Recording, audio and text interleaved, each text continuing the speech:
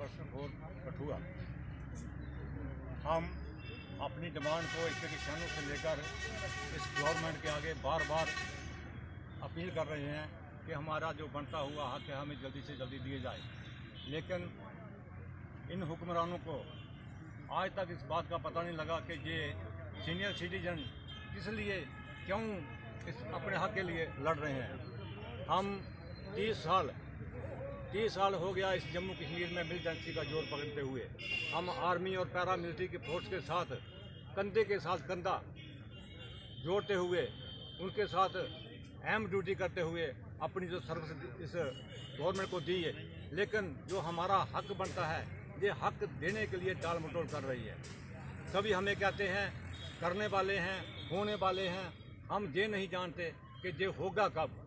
जब हम किसी सीनियर ऑफिसर के साथ हम किसी लीडर के साथ हम महबूबा जी से मिले, उन्होंने हमें यही आश्वासन दिया कि आपका ये हक बनता है, मामूली सा हक है, मैं जल्दी से जल्दी दे दूँगी। लेकिन हमें इसके बजाय, दे दूँ के बजाय हमें कुछ और नहीं मिला। हम मीडिया के माध्यम से इस गवर्नमेंट को ये कहते हैं कि अगर जब हम पुलिस में भर्ती हुए तो हमने बत्ती चौथी का सीना देकर इस देश की रक्षा के लिए अपना सीना दिया। पाँच फुट छः इंच हाइट करके हमने एक आर्मी की तरह अपने आप को इस गवर्नमेंट को दिया कि हम इस देश की सेवा करेंगे। हम आर्मी के साथ पैरा मिलिट्री के साथ, कंधे के साथ कंधा लड़ाकर ये मिलिटेंसी की लड़ाई लड़ रहे हैं। आर्मी वाले जो हैं, वो बारूनी जो हमारे दुश्मन हैं, उनके साथ लड़ाई लड़ाई करते हैं। लेकिन हमारी जो इंटरनल सिक्योरिटी है, उसकी पूरी की पूरी जिम्मेवारी हमारी होती है और हम उसको बखूबी निभाते हैं। लेकिन जब इतनी अपनी जिम्मेवारी निभाने के बावजूद जब हम इनसे अपना हक मांगते मांगते हैं तो ये हमारे साथ टाल मटोल करते हैं। हम अपने साथियों को आपके माध्यम से, मीडिया के माध्यम से कहना चाहते हैं कि साथियों, पीछे मत हटो।